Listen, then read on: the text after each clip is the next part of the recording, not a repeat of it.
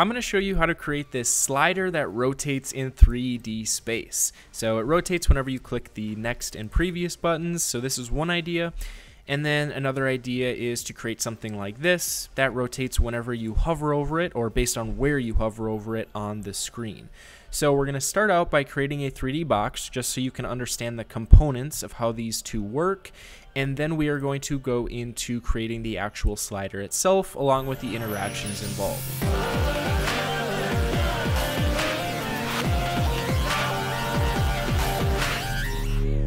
So let's start out by creating the 3D box. I'm going to set the scene by just adding a 100 viewport height div and then center, align, and justify. So all of these are going to need a few things. One of them is 3D space. This 3D space is basically the environment that these objects live in. So we are going to add, click these, these three dots down here and give it some children perspective.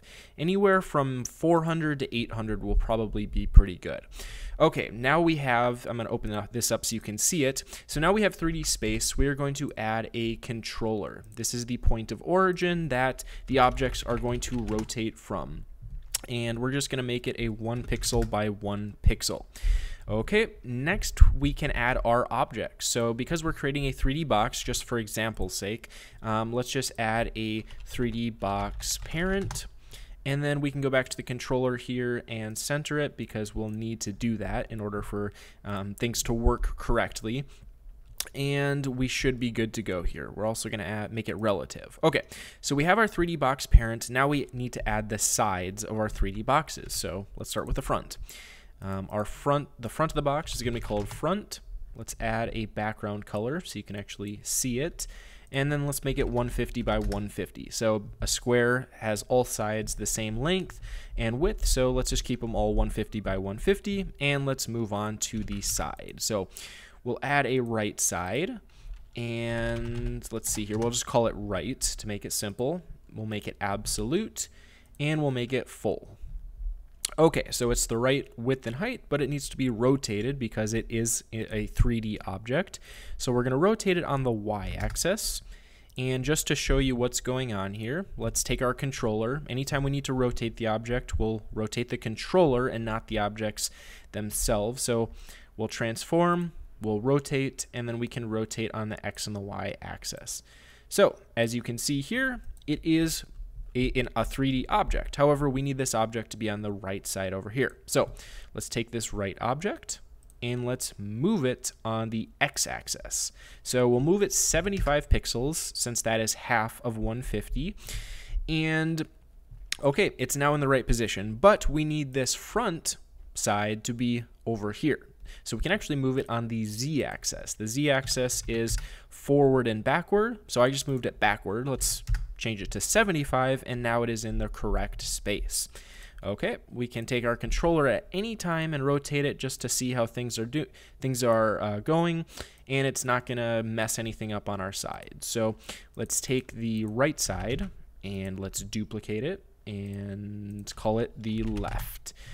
Um, all we need to do is we need to change it from 75 to negative 75 and it should be in the right spot. I'm going to change the shade a little bit just so we can see um, the different sides a little bit easier here. And then now what we can do is we can take this front side and add a back side. So let's duplicate the class, make it back. We do have to change this one to absolute since the front was not absolute beforehand. And all we need to do, again, change this from 75 to negative 75.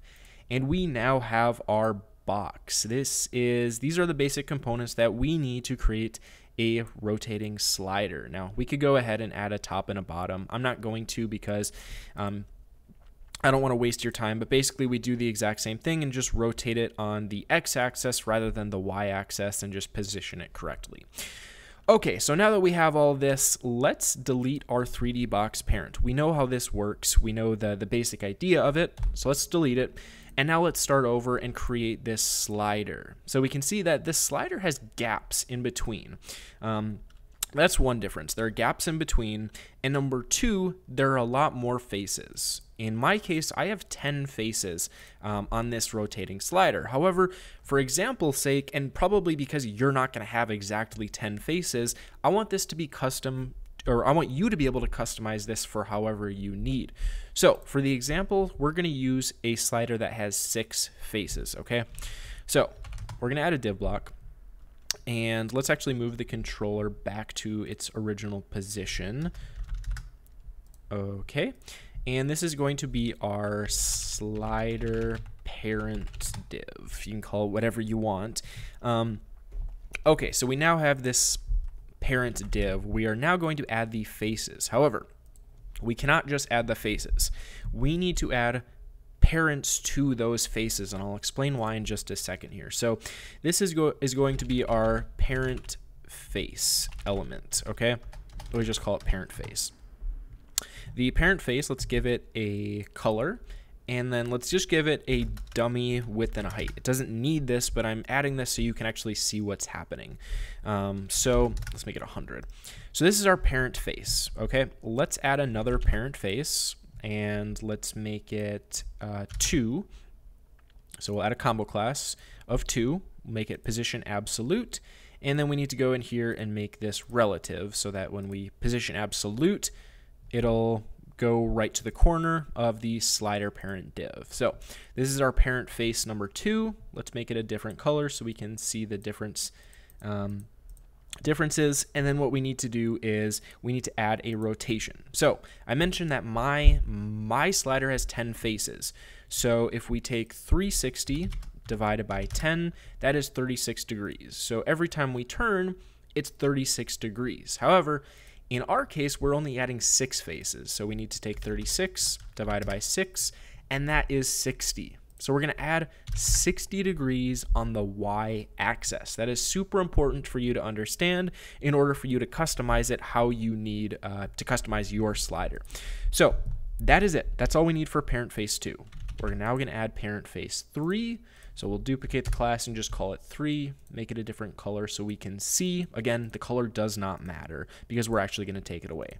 And then we'll take our 60 and we can actually take 60 and add 60 to it and that is 120. So we now have three faces, and I'll show you just in 3D view what's happening here. We have three faces that are rotating on this point of origin, which is our controller. These parent faces just make it easier for us to be able to add our interface elements. Um, so before we go in and add our three additional faces, let's just go ahead and add the elements themselves. So um, let's change this back to um, normal. All right, let's go to our parent face one and let's add a div to it. So this is going to be our actual element where our uh, elements are actually going to live. So we'll do 30 by 15 viewport width and we'll call this face. Um, and then we'll add additional faces inside of these other parent faces. Now, one thing we need to do again is we need to go to our slider parent div and we need to center, align, and justify so that these faces are actually, um, actually we'll do that on our parent face. Um, hopefully that'll do it. That'll do the trick. Yep. Um, okay, so our face is now centered to this reddish pink parent. So we've got 30 viewport width by 15 viewport width. Um, let's add a color so we can actually see Let's add a pink. Okay, that is our first element. However, we want it to be out here. We don't want it to be on this uh, this x-axis. So what we can do is we can take the face and we can trans add a transform and move it on the z-axis. I'm actually going to move it, we'll say 10 viewport width for now. We can always adjust it later. Um, but okay, it should now rotate whenever we rotate. There we go, perfect. Um, let's go ahead and add our second face. So we've got our face here. Now we're going to add a face to the green one. So we, add, we copy and paste. We've got our face, and let's add a combo class. Okay, the reason why it's not showing is because our parent face is not positioned as relative. So we need to add a relative position to it. Um, actually, that's not correct. Uh, let's see here. What do we got going? Um, so we've got this parent face. We've got two. Let's see here. Um, oh, okay, I see. It is working. We just can't see it because it's in a weird angle. So let's rotate it down just a little bit so we can actually see it. There we go. Okay, it is working. Um, let's go back here. And we don't need that. Okay, so the way we can fix this, we can see that they're crossing in weird paths. We obviously don't want that. So we want them to be further out towards uh, the outer circle. So let's move it more than 10. Let's make it something like 18. Eh, a little bit further. Let's say 20. Okay, let's take our controller and let's rotate it back and then let's see how it's rotating. That is perfect. The cool thing is that whenever I change the face value here for our first slide, it's actually going to change it for all of the slides because we have combo classes, which is super neat and it makes for less work. So let's go to our third parent face. Let's add it and let's just change this um, to our third combo class so we can change the color so we can see what's happening and it is working working exactly as we expected. It's rotating uh, around that point of origin. Again, these colors are here just so you can see what's happening. You can get rid of them in the future, and you can add whatever styling you want to these elements. So we'll add a div block. We'll call this one slide one. You can do whatever you want. I'm not going to go through and style them because I think that would be a waste of your time. Um, so let's just keep moving on, and I'm going to really quickly add the other faces. So let's go here to our parent face, and let's one, two, three, and we'll call this one four. And let's see, 120 plus 60 equals 180. That's good. Let's go to our parent face here, and this is going to be 5. And what was the last one? 180 plus 60 is 240, which is perfect. And then let's go to our final one and let's make it 6. And then we're going to make it uh, 240 plus 60, which equals 300. Okay, we now have our 3D slider that is rotating in a 3D space. Super neat. It's working just as we expected. Now, if you have a different amount of faces, again, just to recap, take 360, divide it by the amount of faces. If you have 20 faces, 360 divided by 20 equals 18 degrees.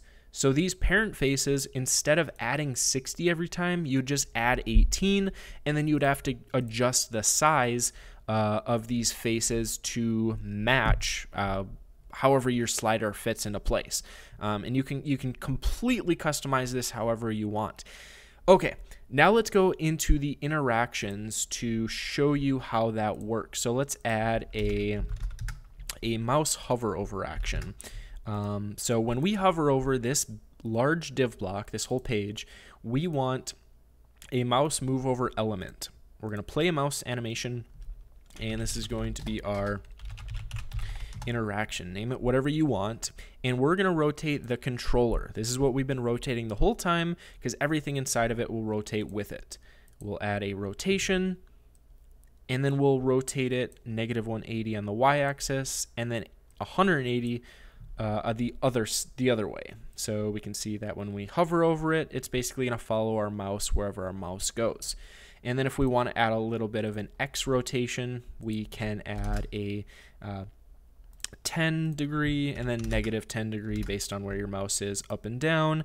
And then if you want to, you can add a little bit of easing into it. So basically we'll go in here and it looks pretty good. The sizing needs to be updated a little bit, but again, like I said, it's super easy to update the sizing because we've made this, uh, made combo classes, so um, it's really easy to update everything all at once. Maybe we need to push things back on the z index just a little bit. So we'll say like, I don't know, we'll say 21.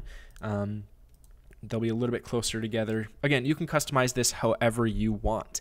Okay, so we now have that done. The final thing is to show you how to rotate these whenever you click buttons. So let's add some buttons. We'll add some text links. You can add them wherever you want on the page. Um, this is going to be our previous button. Um, so we'll call this, yeah, we'll call this previous. The class does not matter. Um, So we'll add previous here and then just, let's see, we'll go to the ID. The ID does matter. So we need to add a prev dot dash button. This is what um, our code is going to be looking for. Um, so we'll have prev dash button and then let's copy and paste and just add a next button. So this is going to be our next. Again, it's looking for this ID, but our ID needs to change to next dash button. And then let's just position absolute up here on the top right, and then let's change the text. Okay, and then the final thing we need to do here within Webflow is we need to add a rotation dash ID to our controller. Again, the class does not matter. It's the rotation dash ID that our code is going to be looking for.